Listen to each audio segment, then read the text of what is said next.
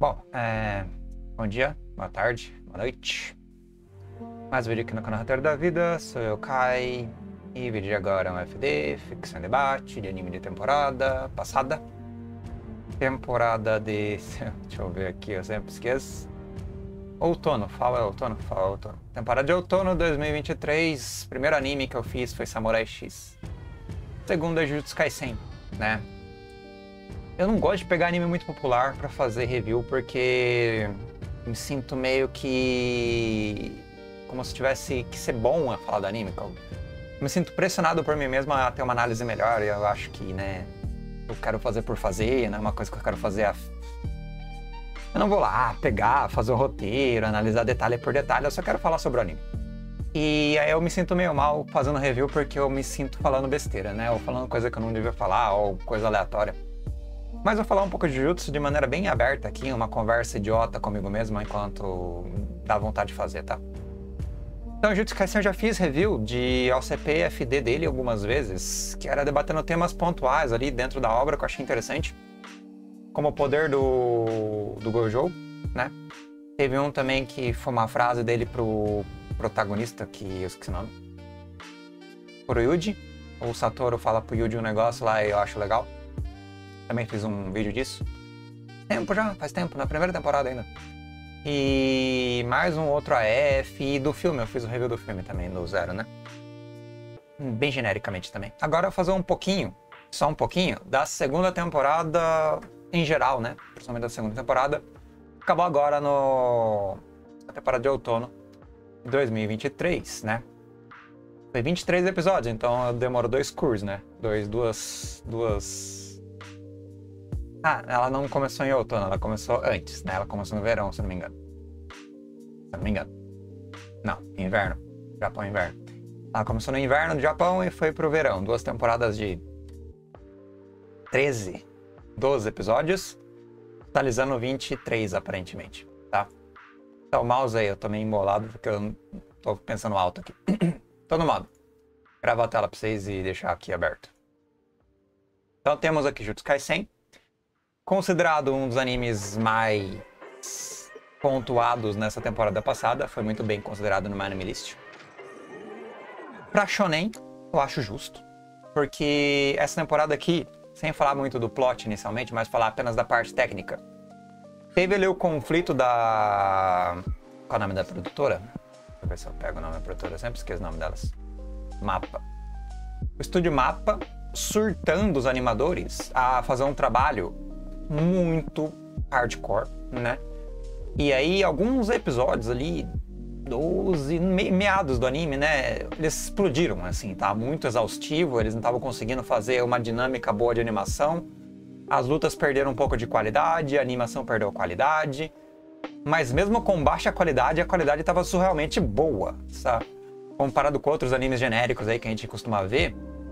Para um anime tão surtante que deixa as pessoas doentes, né, ao fazerem ele, e deixa mesmo, e é triste isso e, aliás, eu sou contrário a isso, devia ser uma produção muito mais longa em vez de uma produção tão curta, tão é, pressionada, tão surtada, tão insana. Mas o resultado que entregaram para mim foi relativamente bom, tá? Na verdade, até acima da média, ao ponto de sim convencer, né? E é a parte técnica, que é o quê? A hoste do anime tá sensacional. A direção do anime tá sólida, apesar de depende de um pouco de algum, alguns detalhes assim, fica um pouco estranho, mas em geral tá bem consolidada. O enredo em si tá amarrado, né? Ele vai se desdobrando adequadamente, sem grandes pulos, saltos ou, ou incômodos, por assim dizer. A primeira parte do anime, que eu não lembro se aconteceu nessa temporada, acho que no, no inverno, né? Não, não, agora no finalzinho. É, foi no inverno. Que é o arco do Gojo na, na primeira fase de, de sei nem como descrever, mas na fase ali pós-adolescência dele, na fase adulta, início da, da vida adulta dele, junto com o melhor amigo dele do momento, que era o Getou, né? Getou e Gojo, a dupla dinâmica da primeira parte do anime. Foi muito bom. Foi assim, um arco incrível, assim, sendo bem sincero, achei muito bem feito. Achei o desfecho muito bacana, muito bom também sabendo o que acontece com o Getou depois no filme do Zero, né? Que a gente sabe o que acontece com o Getou, mas Aí depois você descobre o que acontece com o pós-Getou agora na segunda temporada. Mas esse arco do Getou em, da decadência dele, da, da, da minha gata, da, do colapso dele, né? E como o Satoru Gojo overpower mais o pai do Megumi também, que é o tomara que esteja aqui, tomara que esteja aqui, tomara que esteja aqui, não tá aqui. O pai do Megumi, ah, o pai do Megumi, eu não lembro o nome dele. É, entendeu? O pai do Megumi é foda. E mais o esquema ali também da que eu não entendi direito, infelizmente eu não peguei direito como é que funciona o poder de transição de corpo da entidade que mantém a estrutura do Jujutsu ali dos, dos feiticeiros. Eu não entendi. Tá aquele labirinto ali que seria a próxima menina, que seria o receptáculo, né? Ela seria literalmente um corpo para uma entidade para manter uma estrutura de defesa ou de alguma outra coisa que eu não sei nem explicar direito do próprio cosmos de Jujutsu Kaisen. Não quer dizer que o anime não tenha explicado isso, quer dizer que a legenda ou era meio ruim ou sou Varsa, tá? E as duas coisas, a legenda tava meio ruim mesmo. Mas eu sou mais Varsa do que o normal. E eu não tava com muita atenção, assim. Eu tenho que ler o mangá que tá nas minhas costas. Eu tô comprando para entender melhor a história, para ver se eu pego os detalhes. Mas eu não saquei o cosmos, a parte do mundo, de maneira muito coesa de Jujutsu Kaisen. Tanto no passado, que teve uma, um, pouco de, um pouco de desdobramento agora no, no finzinho da temporada, quanto na parte de introdução ao presente ali, ao presente recente, no caso, que é o arco do Gotou, né? E do Getou também. É, é Go, Gojo, Gojo, Gojo e Getou. Aí, tipo, eu achei muito bem construído, eu achei muito bem aplicado é, a dinâmica de como você cria um personagem vai desenvolvendo ele na arrogância do, do Gojo, ou o Getou na sua decadência, a, a descoberta dos novos poderes do, do Gojo, entre outros elementos ali da primeira parte do anime, foi incrível. Foi assim, sublime, tá? E as lutas. Porque Jutsu Kaisen, se tem uma coisa que Jutsu Kaisen, na parte técnica ainda, conseguiu ter um esmero e um êxito incrível que me deixou muito satisfeito foi as lutas. Tá? As lutas foram sensacionais. Quase todas, nem todas, tá? Uma outra não foi tão épica ou teve um ápice muito grande, algumas foram um pouco estranhas, como a luta do Nanami com a menininha das armas, a Maki, e o outro cara da, do quadrinista, né, que tem os 24 quadros contra o outro cara lá que era um povo, algo do gênero, né? Uma luta um tanto ruim comparado com as outras, mas ainda assim equivalentemente boa comparado com outros shonens, né? Tipo, a animação dos movimentos, a dinamicidade do, do sentimento aplicado na tela e as estratégias também, mesmo sendo uma estratégia não tão hum, mental assim que nem Hunter x Hunter, não é uma estratégia também tão. Bom, One Piece não tem estratégia. É. Boku no Hero Academia tem, mas é meio torto. Tá, mas é uma coisa bem feita com estratégia, mobilidade e entrega, né? Isso me deixa muito feliz. Tipo a luta do. Do Sakuna, Sukuna. Sukuna foi uma luta tão intensa e ao mesmo tempo com estratégia, mas uma estratégia bem de, de, de, tempero mesmo, temperando a luta como um todo, que era uma luta fantástica. Do Sukuna contra o, a Maldição, ou do Sukuna contra o esquema que o Megumi convocou lá, que o Megumi se suicidou, né? Mas acabou não morrendo porque o Sukuna venceu a entidade. Mas era uma invocação suicida, né? que um outro mestre já tinha invocado, isso é interessante também, que lutou com um antigo é, possuidor da habilidade do Gojo, que perdeu para essa entidade que o, o Sukuna venceu, né? Mas assim, a habilidade do Sukuna, os macetes da habilidade dele, como ele utiliza, a grande eloquência, né? a megalomania das lutas. E as lutas do Itadori, né? O Itadori, mano, as lutas do Itadori, naquele esquema de eu sou mediano, mas eu sou mediano foda ele é mediano, tá? Ele é só um cara hábil pra cara, mas utilizou ele muito bem a parte de arte marcial, a parte técnica, a parte estratégica. Assim, cara, eu ficava todo episódio de luta, principalmente os arcos de luta, falando, cara, isso tá muito bom. Isso tá muito bom, isso tá muito foda. Aquele cara do sangue também, que é. Não tem o nome dele aqui, acho. As lutas dele são lindas. A arte dele de técnica, a técnica dele é linda. A manipulação de sangue, utilizada aqueles panoramas de câmera, aqueles, aqueles giros de câmera, aqueles é, ângulos de, de destroços e combate, movimento e não sei o que lá. E é um pouco, logicamente, shonen, né? Porque é surreal o quanto os personagens são incrivelmente fortes, mas. E você vendo tudo aquilo funcionando, ele meio que dobra o que era na primeira temporada. A primeira temporada não era ruim, mas ela era mais hum, básica. Aqui não. Aqui eles dobraram a aposta e eles pagaram a aposta. E ficou lindo. Tá? Então Jujutsu Kaisen na segunda temporada, na parte de lutas, foi sublime, sublime, sublime. A parte do enredo em si, eu tenho alguns problemas. Eu achei muito rápido. É um anime que ele podia ser mais disperso, né? de, de, de dissolvido assim, um pouco mais lento, mas o como eles vão jogando o vilão e já vai no, no esquema de chefão final, e já vai no esquema de desespero, de morte, de sem preparação, joga você na, na, no fogo, literalmente. E o fogo queima. Eles prendem o personagem mais poderoso, que é dito como o Gojo, né? Que ele seria imparável, mostra o quanto ele é incrível, mas o quanto é incrível também o como fazem para parar ele dão um selamento nele. Diz que ele morre depois, não sei como ele morre. Mas dão um selamento nele. É... E o Gojo é realmente muito apelão e faz sentido selarem ele. E depois mostra a galera mediana acima da mediana lutando ao limite e se ferrando. Que incrível, é forte pra caramba como o Nanami. O Nanami não, não sobra nada do Nanami. Ele é fraco. O Yuji, ele é fraco também. Entendeu?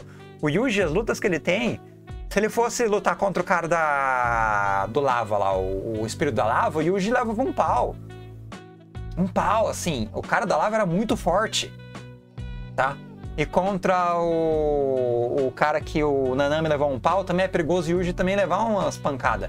Os oponentes que o Nanami, é, que, que, o, que o Tadori, que o Tadori lutou, é, são oponentes que fazem sentido com ele, assim, que fazem sentido com o estilo de luta dele e que deu combate. Agora, certos espíritos ali, ele sem o Sukuna, não arranhava, não arranhava, cara, não, não tem como, entendeu? É muito forte. E aí, o que aconteceu com os personagens secundários, assim, com os coadjuvantes, até com aquela menina de cabelo trançado que ganhou e perdeu a luta, entre aspas, o irmão dela salvou ela. Opa, ela nem tá aqui. Aquela menina divertida estilosa lá, da, da Machadão e tal, com os poderes dos corvos lá bastante. É muito. Jujutsu Kaisen ele tem uma pegada de, de, carisma, character design, sabe? Character design, apresentação dos personagens e carisma. É um negócio bonito, cara. É um negócio engajante. É um negócio tipo. É, descolado, tá ligado? É muito descolado, é muito agradável. Ah, eu não gosto muito do humor de Jujutsu, só pra apontar, eu não gosto do humor dele. Mas é descolado, o character design, a movimentação, as roupas, as lutas, é, a personalidade, como ela é utilizada, o, o Yuji, ele, o Itadori, ele no momento ele colapsa, ele mata genocida geral ali no Shinjuku, né? Tipo, não sei nem quantos ele matou com o Sukuna. É um banho de sangue, assim, é um negócio brutal e gore. E ao mesmo tempo um pouco embolado, porque ele tá numa situação que não tem respiro, não tem como, é asfixiante, é luta, é tensão, é caos, é fogo. E isso é muito interessante, é intenso. O problema é que o plot nisso não, não tem um tempo para absorver. Não é que nem Hunter x Hunter, que você pega o narrador lazarento enquanto os caras estão no cagaço, narrando a história e dando um, um, uma linha para a história que fica aquele esquema de tensão e ao mesmo tempo resolução que eu achei sensacional, que é muito mangá também, porque o mangá de Hunter x Hunter é assim. Então essa narrativa constante explicando os contextos, é um overthinking em volta do shonen, não tem Jujutsu. Para mim isso faz falta. Esse overthinking, Jujutsu não, Jujutsu é sangue, Jujutsu é cena, Jujutsu é ação, Jujutsu é contexto de desfecho. Só que o desfecho, ele é rápido, ele é rápido demais, ele dá mal-estar. E meu irmão ficou com mal-estar fudido com isso. Ele ficou, ele, ele falou, não, isso aqui tá uma bosta. Porque ele ficou com mal-estar, ele ficou preso no mal-estar. Mas dá um mal-estar mesmo, eu concordo. Mas ao mesmo tempo, eu não vou negar o, o, a glória do, do, do, que fizeram e entregaram. E a glória do que entregaram nas lutas de, de fogo, porque foi fogo mesmo, é só panela e só desespero.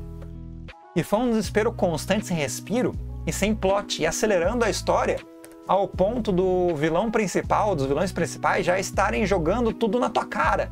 E termina com um puta de um, de um inferno ali que joga todos os demônios, libera todas as maldições e começa a genocidar o mundo. Assim, o Japão começa a entrar em colapso e você simplesmente não tem tempo de absorver. Porque não é passado o contexto de maneira minuciosa e lenta. E não tem um tempo de respiro. O arco ele vai, vai martelando.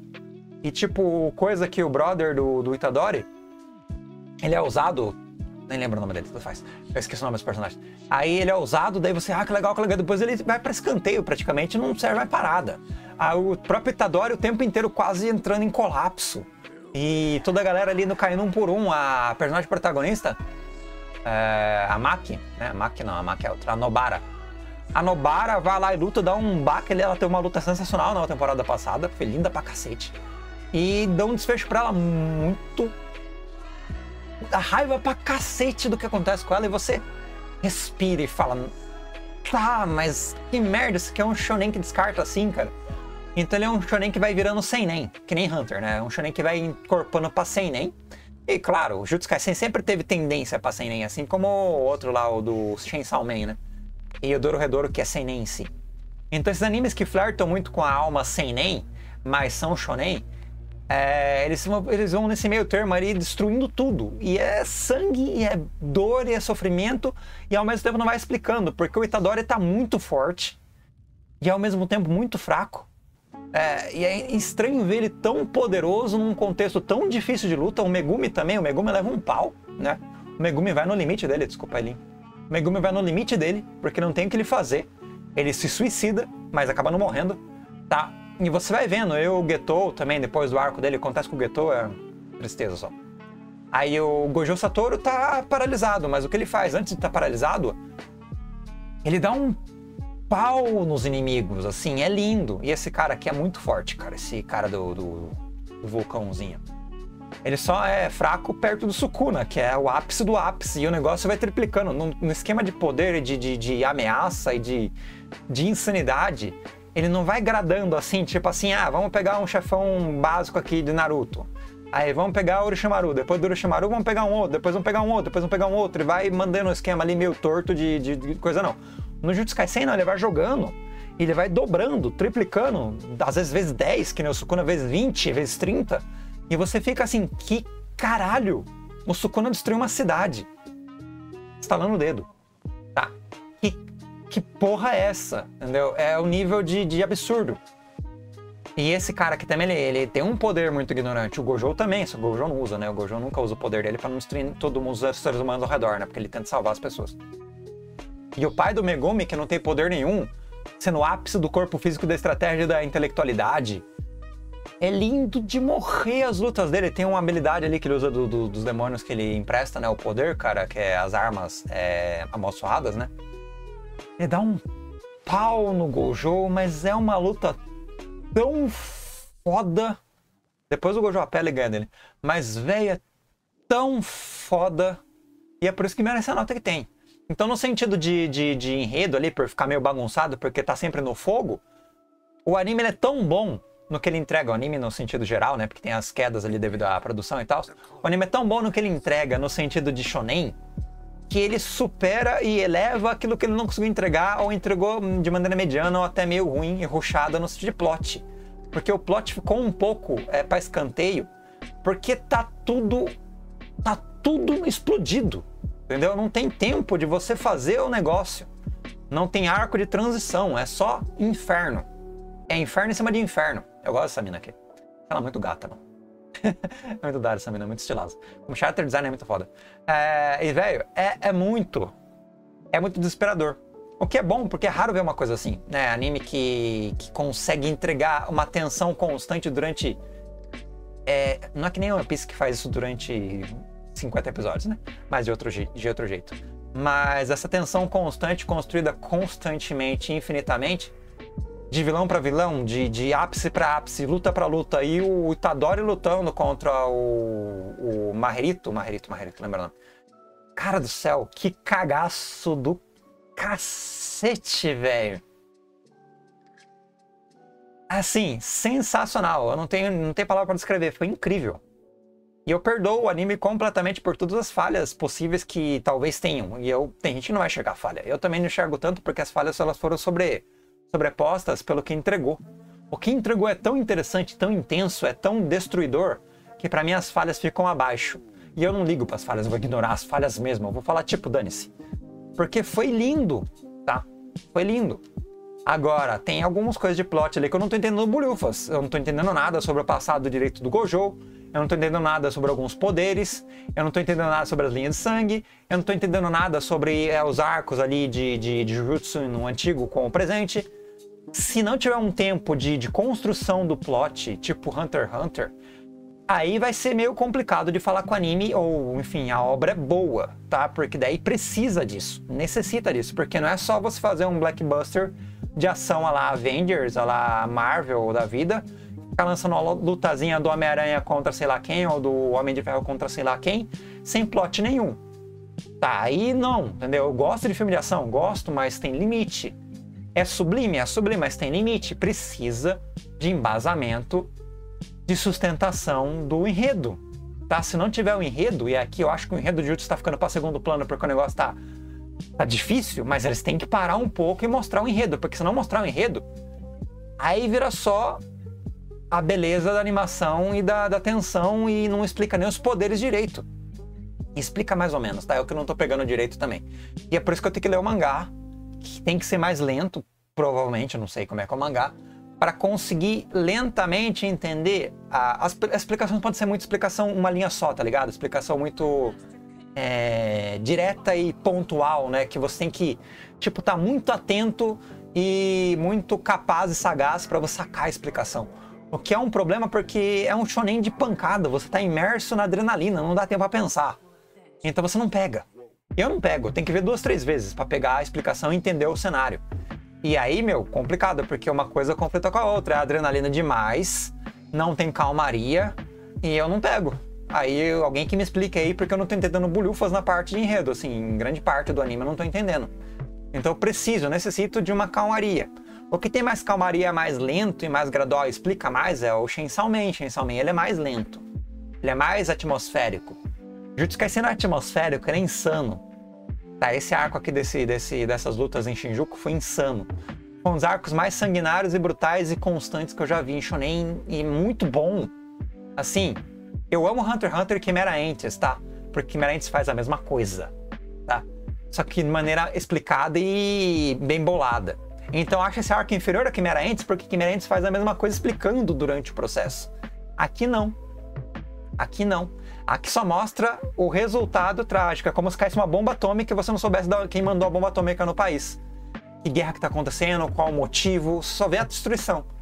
E a destruição pela destruição é trágico, é intenso, bucha sentimentos, dói, é incrível, mas não me satisfaz. Então eu preciso, eu necessito dar embasamento. E aí meu irmão necessita mais do que eu, então ele está surtado com anime, porque ele não gostou. Tá? Precisa do embasamento. E esse é o problema da segunda temporada. E ao mesmo tempo, ela não tem um problema porque esse embasamento pode ser posto posteriormente. Só que se ele não for colocado posteriormente, que já tem o arco do cara caçando Yuji, se ele ficar nessa da, da, da tempestade, da insanidade, do fogo o tempo inteiro, e ficar apenas pontuando é, o plot e atropelando, aí cai de nível nesse sentido. Aí eu não vou ter como salvar e vai ser um shonen mediano, tá? Ele vai ser incrível nisso aqui, ele vai ser incrível em poder, mas ele vai ficar insatisfatório na, na contextualização do, dos poderes, na contextualização da, do próprio mundo como um todo, né? Do cenário como um todo. E vai ficar um negócio adrenalina, adrenalina, adrenalina, até sim com conteúdo, porque tem ali, mas mal aplicado, no meu ângulo de crítica. Tá? Pode ser que outras pessoas não achem isso, que achem sensacional, que a nota seja merecedora, que essa adrenalina 100% seja, seja, seja tudo que precisem e tal, mas para mim não é suficiente. E é por isso que eu categorizo isso aqui. Por até o momento, tudo bem, entregou um arco que tem que ser ápice da, da insanidade, beleza, agora eu preciso, eu necessito que você me faça uma descrição da, do cenário para eu entender o que diabos é o Gojo, o que diabos é o passado, o que diabos é o presente, o que diabos é o Getou, ou o cara que possui o Getou, porque sangue por sangue eu não vou conseguir, cara. Sendo sincero assim, eu não tô entendendo. É, e também a legenda que tava difícil, a legenda realmente tava me prejudicando bastante. É, e tem uma explicação, tem um momento que eu vou falar que eu achei legal pra caralho, que é meio de calmaria, que, eu, que explico, ah, deixa explícito o que eu tô querendo dizer. Na luta do Megumi com Yu Yuji contra aqueles caras que são é, humanos, humanos que amaldiçoam, né? Que é a velhinha lá que invoca o pai do, do, do Megumi, né? E aqueles carinhas ali humanos e amaldiçoados. Aquilo ali tem uma explicação. O Megumi e o Yuji lutando tem, uma, tem um tempo, tem uma temporalidade, tem uma pausa, tem eles entendendo o poder do inimigo. Tem aquele esquema ali de você ver uma temporalidade que não, não sufoca você. O que eu entendo também é que não tem como fazer a mesma coisa. Com o Marrerito você já sabe como é que é o poder dele e tal, né? Com a mesma coisa que o Yuji, não tem que explicar tanto. Mas o Sukuna, por exemplo, o Sukuna na luta dele, você até entende um pouco o poder dele, mas fica estranho. A mesma coisa acontece com o poder do Gojo. Ele explica o poder do Gojo, mas fica muito difícil de entender porque não é bem. Ele é muito, muito raso a explicação. É, e alguns poderes, ou algumas estratégias, algumas dinâmicas de luta, começam no. Cara, tô dizendo do Megumi com Yuji contra aqueles outros é, amaldiçoadores. Ela é mais palatável, ela é mais lenta, ela é mais. Ela é mais. Ela é mais. Ela entrega o que eu quero ver. Tá? Ela entrega o que eu quero ver. Agora, quando você pega aquele. o pau comendo do. do, sei lá, do cara de sangue ali contra o Yuji, aquela luta ali, não entendi bolhufas, tá? Eu só fui entender ela no finzinho, quando o cara de sangue muda o ângulo dele e começa a mostrar mais ou menos o plot dos irmãos dele. Aí, retomando aquela luta e retomando a, a abertura pro, pro arco do cara do sangue ali, agora sim, entendeu? Mas mesmo assim, é um anime que ele é muito pontual nisso, ele é um shonen shonen demais, assim. Acho que o desequilíbrio nisso me incomoda. Mas como eu tô dizendo, é uma coisa minha. Não uma crítica geral, assim. As pessoas podem ver isso aqui e falar, cara, que lindo, que sensacional. Olha o Nanami fazendo sei lá o quê. Aquela luta do, do, dos poderes do Nanami, do cara do 24 quadros, da Maki, contra o cara da... Aquela entidade que joga, eles para um mar... Aquela entidade aquática lá, tá? É uma luta bacana que vai explicando. O que eu gosto de Jujutsu Kaisen é que ele tem uma, um flerte muito grande com Hunter x Hunter, tá? Os poderes fazem sentido, eles são explicados, as dinâmicas funcionam. E as lutas são incríveis. E encaixa os poderes com os oponentes. E encaixa a estratégia das vitórias. Só que o negócio tá tão fervendo, tão fervendo, tão fervendo, que sim, vale a nota, mas eu preciso, eu preciso, não sei vocês, eu preciso uma pausa, um respiro e um momento onde me esclareçam as coisas, porque eu tô, eu tô, eu tô muito na adrenalina, tá? E aí eu tô meio perdido no anime, tá? E aí esse é o meu ponto. É, eu me fico, fico muito, muito, muito caótico no anime. Então a culpa não é do anime em si, é que o estilo do anime é esse. Então o mal-estar é comigo. O anime ele tá perfeito, assim, acho sensacional o que fizeram com as batalhas. Tirando o, o surtar a galera que faz o anime, né? O mapa ser um estúdio complicado. Mas assim, eu tô elogiando, tá? Tudo isso aqui é que o mal-estar que eu tô dizendo aqui é elogio. É porque ele conseguiu me deixar extasiado episódio a episódio, com olhos é, esbugalhados, assim, olhando pros episódios, literalmente. E de sem fôlego, tá? Porque é dinâmica, é fenomenal. Só que eu preciso entender um pouco mais. Só isso. Tá? E tá ali também, eu tô fazendo. Eu tô sendo um pouco injusto porque tem algumas coisas que estão ali. Só que eu não consegui pegar. Sendo sincero, alguma, eu não peguei, eu não consegui entender. Eu não consegui montar na minha cabeça uma explicação lógica, porque para mim, e se alguém conseguiu entender todo esse arco de maneira coesa, assim, quer dizer que o anime foi bom e eu que fracassei em ver, tá? Mas isso você não leu o mangá, tá? Não pode ter lido o mangá. É, mas eu, particularmente, acho que ele faltou sim na apresentação do esquema do plot, do, do enredo em si. E ficou muito rápido rápido demais. Rápido demais. Ele atropelou o plot, tá? Mas na adrenalina tá ótimo, mas o plot foi atropelado. Eu espero que ele retome. Porque se não retomar, eu preciso ver de novo. Aí, aí quer dizer que o anime me deixou na mão, assim, o anime me passou a perna. Daí ele é bom, mas não vai ser Hunter x Hunter. Pra mim, Hunter x Hunter sempre vai ser melhor. Agora, se ele explicasse isso perfeitamente e tivesse um tempo um pouco mais lento e as lutas que tá tendo agora, seria até melhor que Hunter x Hunter em algum sentido. E Hunter x Hunter é meu shonen preferido eu falar que seria melhor que o arco do Quimera Entes, não, é, não foi melhor que o Quimera Entes. Não foi. Não foi. Tá? Mas podia ser. Tem potencial para ser. Tá? Tem gente que vai achar que foi. Discordar de mim. Mas para mim não. Para mim, assim, Quimera Entes é o ápice do embasamento sentimental, embasamento contextual, intelectual de plot junto com ação e shonen, que vira seinen. Jujutsu Kaisen não teve isso. O Yuji ele capota em 10 minutos ele volta. O Gon não. Compara o Gon com o Yuji. Vê o Gon com a Pitou. E compara o Yuji depois ele genocidar um bairro inteiro. E é por isso que Hunter x Hunter é melhor. Entende a, a sutileza? A construção. A construção do Gon em Quimera Ents é impecável. A construção do Yuji no arco de Shinjuku é uma porcaria. Não tem, entendeu? Esse é o, esse é o, é o X da questão, tô dizendo, tá rápido demais. Esse é o meu argumento. Compara a construção do Gon com o Yuji, o Itadori. Não bate, não chega nem aos pés. Esse é meu ponto. Jutsu Kaisen podia ser melhor que Hunter x Hunter ou equivalente a Hunter x Hunter.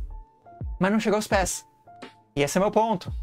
Entendeu? É lindo, é asfixiante, mas não chega aos pés do arco do Quimerentes. Entendeu meu ponto? Esse é meu ponto. Aí você pega o vilão. Compara o vilão com o. o ah, como é o nome do vilão do Hunter x Hunter lá? O. Esqueci o nome dele. Você sabe o que eu tô falando, né? O cara que parece com o Freeza. O céu, parece com o céu. É... O vilão principal do, do, do Quimerentes. Esqueci o nome agora, perdão. É, compara aí. Compara o vilão do, do, do, do, do, Jutsu com aquele cara. Meruem, lembrei. Compara o Meruem com, com o vilão do Jutsu. Não chega nos pés do vilão do Jutsu. Mas nem arranha o Meruem. Mas nem arranha o Meruem. Esse é o nível de Shonen que eu tô falando. E é por isso que eu acho Hunter x Hunter muito mais encorpado Jujutsu, tá? Esse é o meu argumento. Mas é isso. Então, toma aí. E é o meu ponto de vista, tá? Então, grato pela presença e até, até a próxima. Falou aí.